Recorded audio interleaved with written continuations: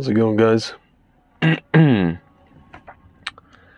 know, I've been thinking a lot about um, the discussion that I had with Dr. Zelenko the other day. You know, and I was asking him about how is it that people can bring themselves to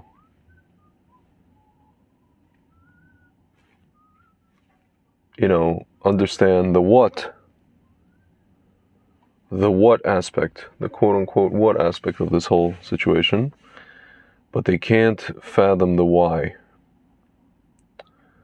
You know, and he told me that people, it's very difficult for people to go into the unknown.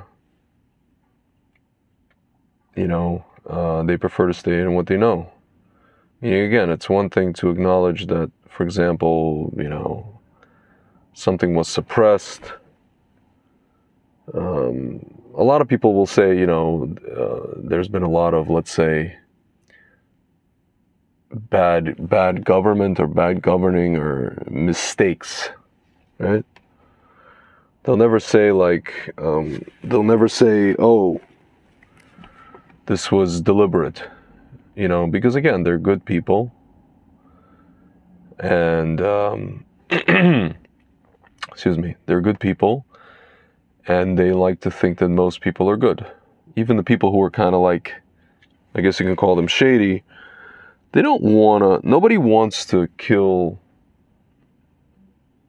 2 billion people. You know, my mother asked me the other day, why, why would somebody want to get rid of these people? If you're talking about, you know, for example, Europe and the EU and all these organizations, why would they want to get rid of 2 billion people? And I said, well, think about it. Uh, all the industries right now are going into automation you're not needed. They don't need you anymore, you know? And again, it's very difficult for people to fathom this. You know, Dr. Zelenko used the example from uh, Solzhenitsyn's book, Gulag Archipelago. So, sorry guys, it's just like really bright here. it's just like one of these days, you know, when the, when the sun's not really out, but it's, okay, there we go. He used the example of um, you know, Gulag Archipelago, where he was talking about how Stalin made people build a bridge, but it was essentially a bridge to, you know, to nowhere, to nothing. It wasn't really meant to be a bridge, and it, and it killed a bunch of people. And the whole point was, Solzhenitsyn was, was conveying was that the entire point was to basically just have the people who were building the bridge die. It was just a method for them to die.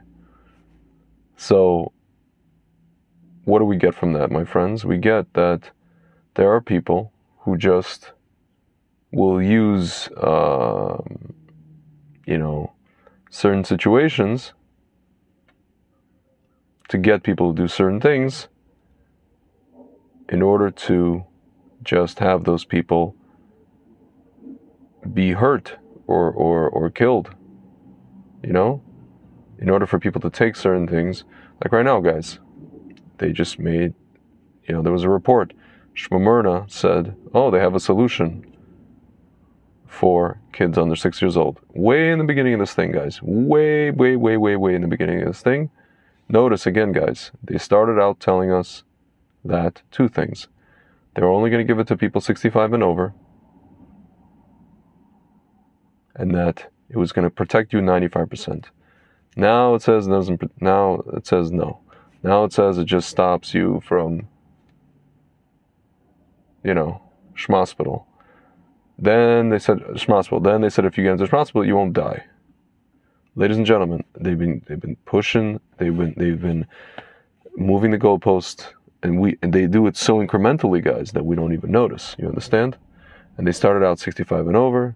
Guys, I took my parents here in Teaneck, March 2021. I took them to get the stuff. And then they said 40 or people 50. And then they said, the head of Schmeiser himself, Shmurla, in an interview, they asked him way in the beginning, Are you going to get it? He said, I'm perfectly healthy. I'm 50. At that time, he was 57 years old or 58. He's like, I'm not in that profile. I don't need it. Ladies and gentlemen, the science, you want to tell me the science changed? So, again, we, we've gone over this discussion. This is an old conversation. But the point is, a lot of people just, in the back of their minds, you know, a lot of people you talk to, they'll say, yeah, Tzvi, you're probably right, but I'm going to dive into Hashem that everything's going to be okay. My question is, why didn't you dive into Hashem that everything was going to be okay without getting the stuff? You know, just dealing with the affliction. I mean, you know, there's a treatment. I know people that took the treatment, got the stuff, took, got afflicted, took the treatment, the actual therapeutic, it worked for them, and what did they do after that? They went and still got the, you know what? I mean, some people had to. One of them's a teacher, friend of mine, nice guy. But other people, my friends, just I, I don't I don't know. I just don't know. Very strange. Very strange behavior. But it goes to show guys, this is this is a spiritual war, you know? Dr. Shmelenko said it's a, this is a spiritual war. And it's Mitzrayim. And he goes, remember, only 20% left Mitzrayim. I mean, in our case, we're trying to get way more people to leave uh, Mitzrayim, you know. And we have Pesach coming up, Bezrat Hashem. And guys, I think it's an appropriate, it's a very inappropriate, not inappropriate, but it is a appropriate time for us to start waking up, guys. You know, it's a very appropriate time for us to start waking up. Because if we don't, you know, according to Shmurna, by the summer we're gonna have little kids. Guys, you know, you know, you realize what they're doing with, with this whole little kids thing. These these are people who are like, as my friend likes to call it, demon beasts, who actually get energy. This is gonna sound completely insane. They get energy from when the children.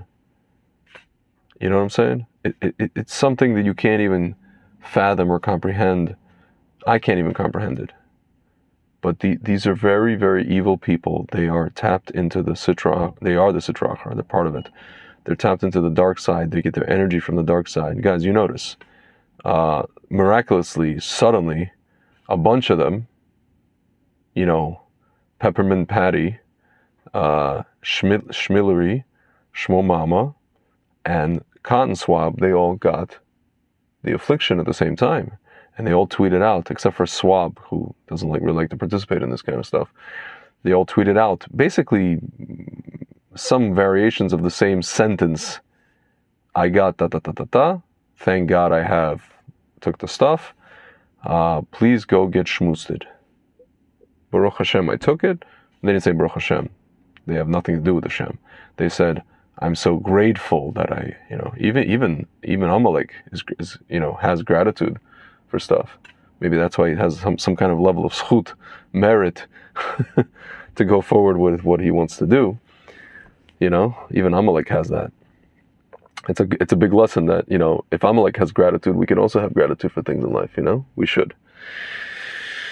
But um, yeah, guys, I mean, it's almost like clockwork. It's it's it's it's miraculous, guys. They are these are people who are engaged in a two year long uh, ritual. This is what they're engaged in.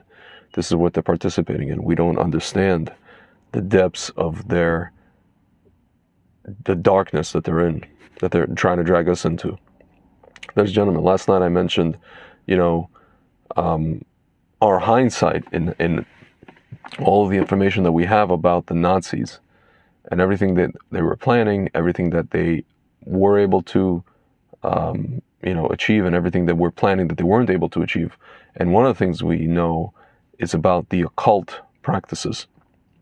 Ladies and gentlemen, you think that stuff went away? Mr. Swab, his father, was a Nazi supporter. With his company, I think, I mean, it was a Swiss based company, but then they moved to Germany. Read all about it, my friends. In Ravensburg. You know, there's a, there was a whole in depth article about his uh, research, you know, very in depth um, investigative report about Swab and his father, Cotton Swab, you know, and ladies and gentlemen, the Nazis never went away. Their ideology never went away. The specific ideology of eugenics. Again, I go back to in Nuremberg, they called it a crime against humanity, even though, a, even though the people targeted were Jews, but it was a crime against humanity, my friends. Today, the crime you see is not just against Jews, it's a crime against all of humanity. They did not go away. They said they're saying to themselves, well, you know, now we're just going to have a war against God. We couldn't go to war directly against God's PR agents, as Dr. Shmalenko calls us, the Jews. You know what? We're just going to go to war against God. We, there's been enough of a pushback against God over the years. There's been enough, uh, you know, so to speak, stigmatizing of religion particularly Christianity, there's been enough of removing, so to speak, the idea of God as a thing from Western uh, kind of society and zeitgeist. Now the time is ripe for us to go ahead and do this. And we know that people are rely on institutions, they're going to rely on the word of man, they're going to rely on experts and, uh, you know, people to confirm things for them and trust the scientism, trust the experts. We're going to go, go ahead and do this.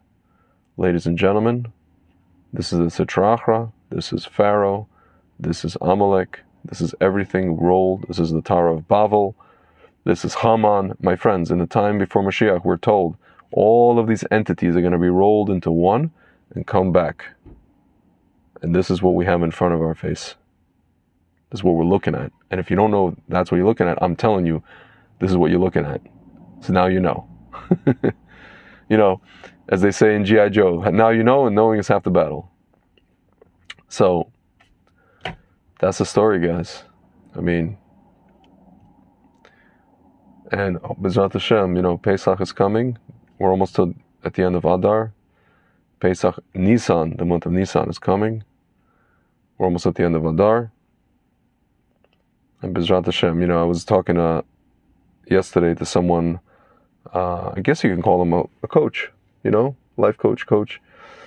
And uh, I was just saying how, you know, the things that he um, was was able to, uh, how should I put this, pull out of me. I told him, you know, the stuff that I just said to you, I'm I'm fully aware of it on my own, about myself, where I was fully aware of something that I was doing that was counterproductive to what I'm trying to accomplish in a certain area of life. And but I said it's one thing for me to be aware; it's quite another for another person to uh, enunciate that, and and then for me to work through that issue with another person, with an unbiased outside source. That what does that mean? I said a prisoner cannot release himself from whatever prison he's in. You can. He doesn't have. We don't have the key to release release ourselves. So, ladies and gentlemen, I'm here to release you.